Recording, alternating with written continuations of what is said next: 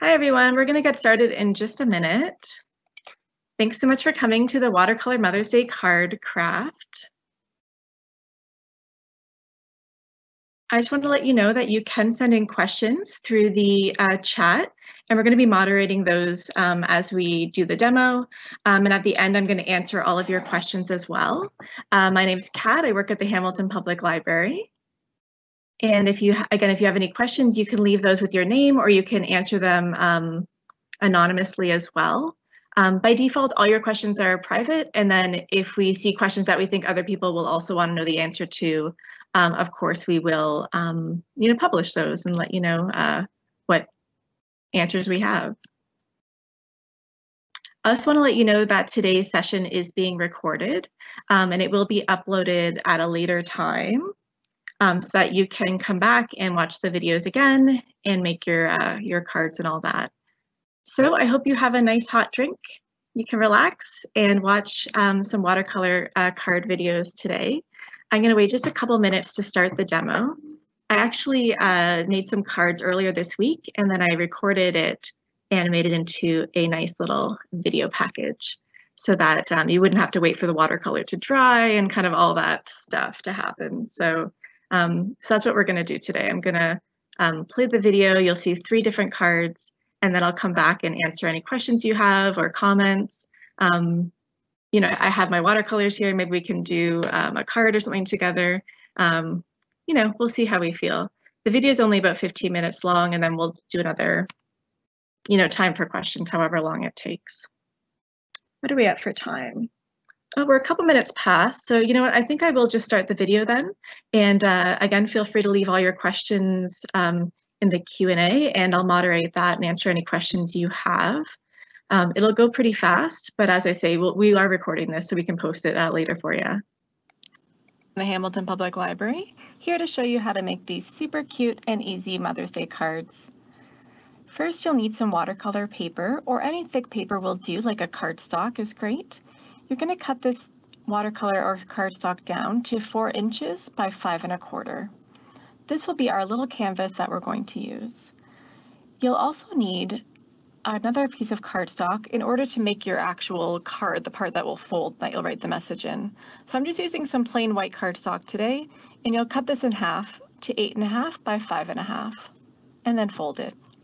You'll need some watercolors. Any watercolor is fine. This is just an old set that I happen to have. If you don't have watercolor, you can make your own. Try using baking soda and food coloring. You'll need some paintbrushes, and again, any kind is fine for this. And you'll also need some water and paper towel. This will help you to wash off your brush and just tap away any excess water. And let's get started. So I recommend covering your uh, dining room table or whatever you're working on with cardboard as well. I'm going to add some water to this canvas to our little watercolor paper here and then pick up some color. So for this card, I'm going to use um, pink and I'm just going to dab it on my paper in kind of a random fashion. What will happen is the actual water will help the paint spread. So you'll notice there that it's kind of moving in whatever direction it chooses. And by adding more paint, you'll see more spreading. And it's going to make this really beautiful organic shape just by dabbing paint in a kind of random formation. Now I'm going to use pink and orange today, but you can use whatever colors you like. My mom just happens to love pink, so that was definitely on my list of things to create today. I can see this being really pretty with maybe a um, blue-green combination, or maybe a couple different shades of the same color as well. I'm going to add my orange at the top here. And again, kind of doing a little bit of a random dabbing. You don't need to be a great artist. I'm certainly not in order to make a beautiful kind of messy shape. We're going for something that is imperfect, kind of has some strange, you know, borders and lines throughout it. And it's going to blend really nicely with that pink. So we're just going to go back and keep blending it in. And watercolor is really forgiving. You can really kind of blend however you choose and it will just blend into each other. I'm going to try doing a little bit of speckles on this as well. So to get some nice speckled effect, you just get some paint and tap it on your finger and the paint will just delicately drop off like that. I think this adds a really pretty delicate effect to it. Now I'm noticing that I have a little bit of extra water on my page, so I'm just going to use some paper towel and just lightly dab, and what that'll do is it'll soak up any extra water that you may have on your page. There we go, that looks really nice. So once this is dry, I'm going to show you some other backgrounds I also worked on with the same technique in different colors. So there's our dried background. It turned out uh, quite pretty.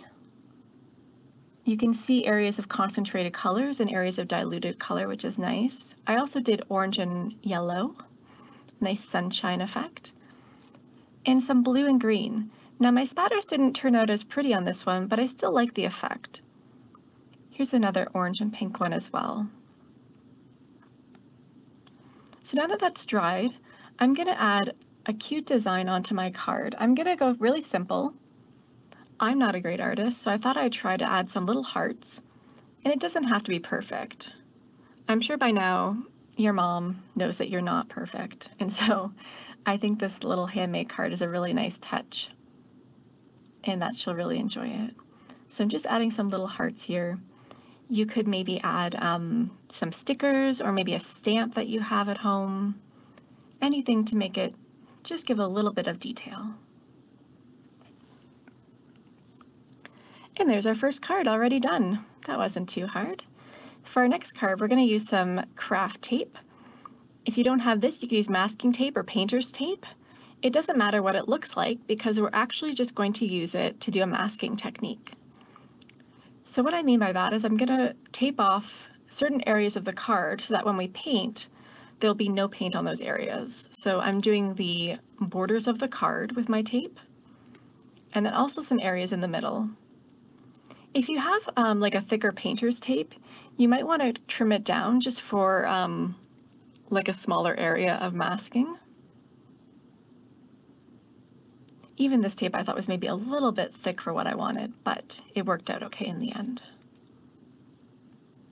The reason why we want to use like a, uh, like a washi tape, a craft tape, or a masking tape is so that when we pull up our tape at the end, when everything is dry, um, it won't take away the paper with it, and you'll have a really nice clean line.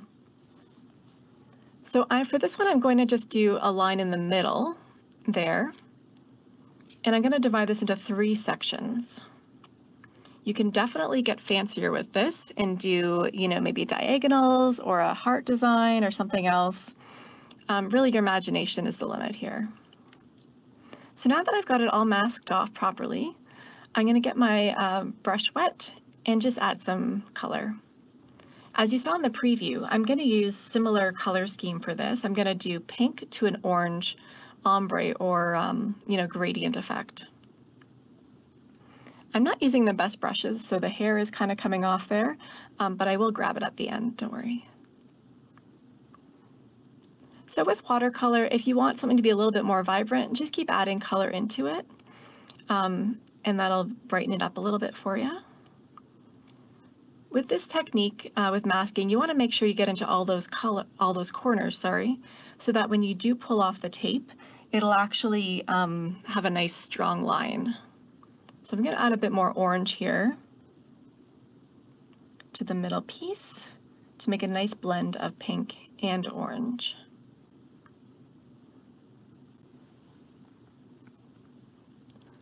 I can think of a lot of other color combinations you might want to use for this. So you could do like a light blue to a darker blue or maybe a blue to a turquoise. Um, you could also do like monochromatic, like a, a, you know shades of gray or something like that um, as well. And then for the bottom, I'm gonna oh, need a bit more water. I'm gonna do just orange at the bottom. Um, and I'm kind of noticing that the middle part could be a little bit more pink added to it. So no big deal. I'm just gonna go back in and mix some more pink right on the paper. Um, if you wanted to be a little bit more like, you know, perfect about things, you could also mix these colors on a separate um, like palette or maybe a separate piece of paper just to make sure that it's going to be turning out the way you want it to be. I like to wing it and just see what happens. So Now the hardest part is where we have to wait for it to dry. Um, so it's now dried, so I'm going to peel off the tape and see how it turned out. Even though it's hard, you want to make sure that the entire card is dry before you peel off the tape, um, just to make sure you get some really straight lines. So here we go, and that looks good. Do the next one. As you're peeling it off, make sure you're peeling up and away from your from your paper um, so that you don't get any of the paint on your um, tape.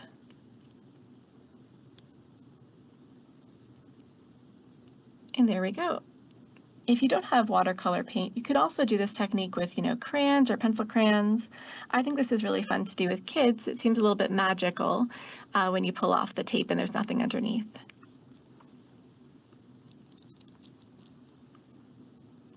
All right, so we're almost done here. And it's looking quite good, I think. There we go. And now that it's all dried, I'm going to write my sentiment or what I want to say on the card, and that will be next. So for this card, I decided that I wanted to write I love you on it. Um, you could obviously write whatever you want, especially in these times. It might be nice to say, I miss you, or I'm going a little bit crazy, please text me, you know, whatever you're feeling at the time. I'm going to practice and do a couple different versions of this, just to make sure that it will fit properly onto my um, card.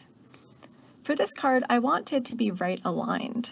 So I just want it at that edge. So I'm just going to place it up there as kind of a guide for me. Um, and here we go. For cards like this, it doesn't matter if your handwriting is not the best because it's yours and that's what makes every card, you know, special and unique. Um, and I like that about these cards. So there's cards two, and now it's on to card three. So for this card, you'll want some pretty paper. Um, I'm using this envelope that I got with a purchase, um, but you could use any sort of wrapping paper, um, maybe, you know, a magazine ad or something like that. You're going to trim it down to four inches by five and a quarter. And then just take a scrap of cardstock or watercolor paper and get some water on there. For this one, I'm going to try to match the pink flowers on my actual card. So I'm going to use a little bit of pinks and oranges and reds to try and get that kind of rosy color on there. I'm going to mix it right on the paper um, to see how it goes and how it changes. Again, if you uh, prefer, you can mix this separately on a different sheet of paper and you know try out a bunch of different color combinations until you get kind of what you want. The more color you add, the more vibrant it will be. Um, so in this case, it's looking a little bit too light. So I'm going to go back for some more color and just kind of boost it up a little bit and get it a little bit more vibrant.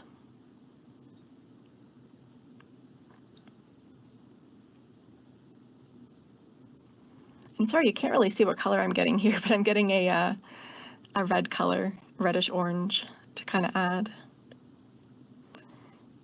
Which brings in those kind of deeper rose colors, which I'm what I'm going for here.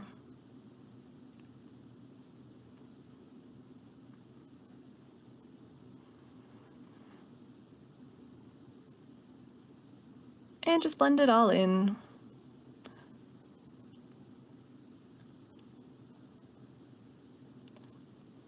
This card is a great excuse to use some of those, you know, nice paper that you're saving or maybe like a really nice greeting card that you had from a friend that you want to reuse. And that turned out nice. Nice kind of rose color. So now we're going to try writing out our message, which is going to be Happy Mother's Day. And again, I'm just going to practice here and writing it out to make sure that I get it correctly and just take a look at what kind of what kind of writing I want to do. Uh, for this one, I'm going to try to get it in the center of this card. And again, I'm going to use my practice one as a guide to kind of make sure that it ends up center-ish. And I'm sure as you see this, you can think of a lot of different things that you can write on a card for maybe someone who's uh, far away from you right now. All right, so here we go with this. And I'm just using a red kind of felt pen uh, to write this on.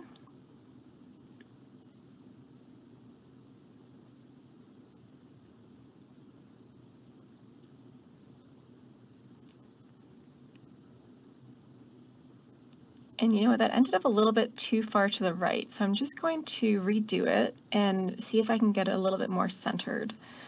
So I'm just gonna add a little bit more water.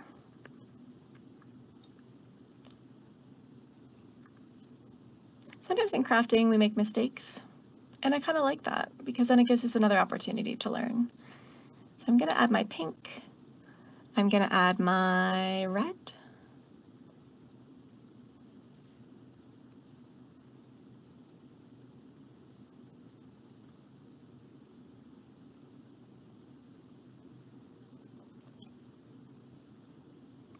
keep getting these little hairs from my uh, brush on my paper. It's not the, these brushes aren't the greatest, but that's okay. You don't need top of the line stuff for stuff like this. I'm gonna add some orange.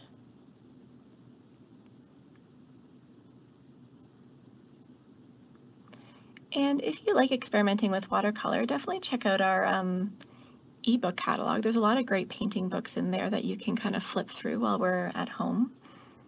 And we have lots of great physical books in our collection as well that you can access once we're back in our branches. So here we go again. Happy Mother's Day. Oh, excuse my head there, it's getting in the way.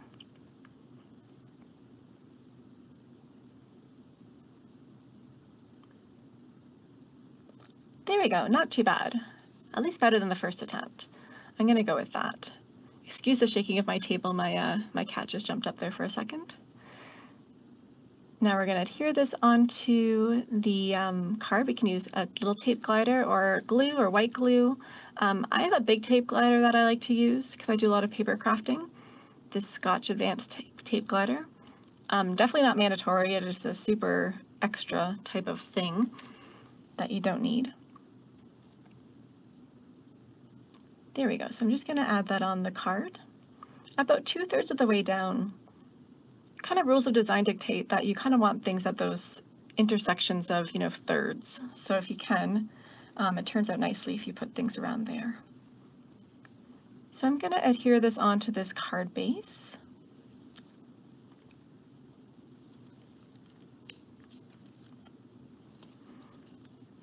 And for this, you don't have to get really like neat and tidy with your taping. Oh, did I get that paint on that? Nope.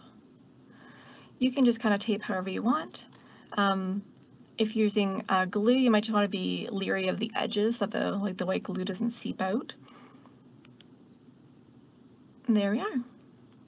So now we just have to do the same things with our other two card bases. So we're just going to glue those on as well.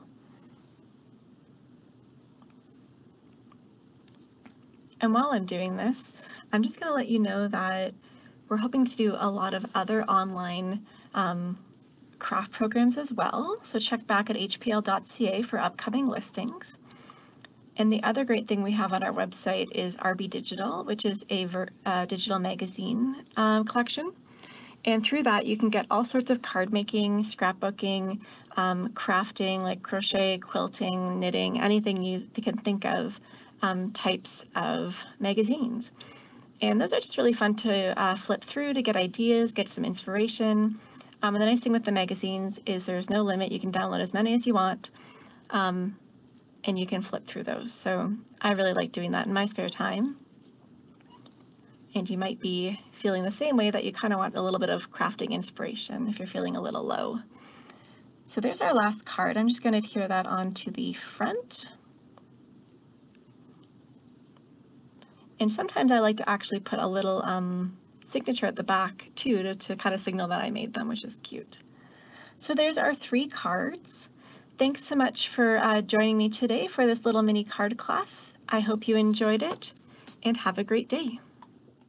Question uh, was, how do we find this later? Good question, because I went through it really fast. Um, so it will be published to the Hamilton Public Library YouTube channel, um, probably next week. I just have to uh, send over the video to them. Um, and you can find that on our website. Um, and that'll have all the details for that. And we've recorded this session as well, so I think we'll probably edit out the uh, audio and visual technical difficulties, but we can uh, we can add uh, the uh, video of actual the Q and A and things like that. Um, if you have any questions about how to access um, RB Digital or any of the ebooks that I mentioned, I want to let you know as well that we have a lot of staff members that have been answering questions. They'll give you a call. They'll walk you through how to access uh, like any online resources that you want. Um, so it's great. We're all, um, you know, working hard from home. Um, it's been an adjustment, but it's been really great reaching out to customers and helping them connect with our resources, which is awesome. Um, you could also comment if you guys have been trying any other new crafty hobbies, let me know. And I also want to know um, what other types of videos you want to see, um, what things you're kind of interested in learning. I know that um, one of uh, Hamilton Public Library's uh, favorite programmers, uh, Linda, is going to be doing uh, some sort of book craft um, later on. She's working on that right now. Oh, that's a good question. If you can get a watercolor effect with diluted acrylics. Yeah, I think you can if you just add enough water. That would be, that's a good question. I haven't tried it, but I, yeah, if you have enough water on your canvas, it should work out okay. Um, I kind of mentioned really quickly that, um, oh, I mentioned really quickly about making your own watercolors with um, baking soda and food coloring. Um, I meant to have that link ready in advance, but you can do a quick Google search to find that. Um, it's really neat. You actually just use like an ice cube tray and then pop in the baking soda, food coloring, and water. Um, it hardens up and then you just add water to that when you're ready to start painting. Um, so I'm excited to try that later. I do have, like I do have a little watercolor set, but some of those, you know, food coloring dyes you can get are really uh, like neon and stuff like that. So I thought that'd be cool. I'm going to say to this person, give it a try and find out.